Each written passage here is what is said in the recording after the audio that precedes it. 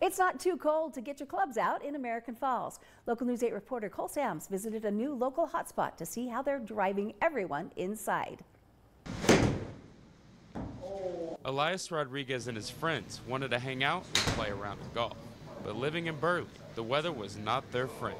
But here in American Falls, Pours & Fours help solve their problem. We don't have like a indoor range at all or anything to play golf with in the wintertime, so this is our best alternative, you know, other than Topgolf in like Utah or I'm not sure if they have indoor ranges in Boise. So yeah, this is our this is the closest option we had and it's been what we made it out to be. The facility offers a premier indoor golfing experience, from shot analysis on an interactive driving range to the ability to play over 100 different courses. We opened uh, middle of November and we just have a large golf community here in American Falls and so we wanted something that they could do on the off months that they can't be at the golf course so they can just come here. But Rodriguez says this place isn't limited to just your standard golfer. Anybody can honestly come here, you're a beginner, advanced player, you know, like they got just a range you could hit, you just to get your ranges down.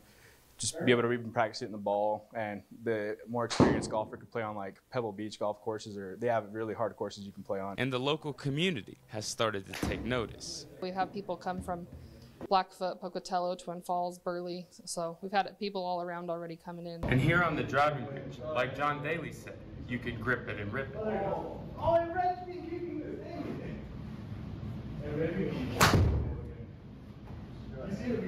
Reporting in American Falls, I'm Cole Sams.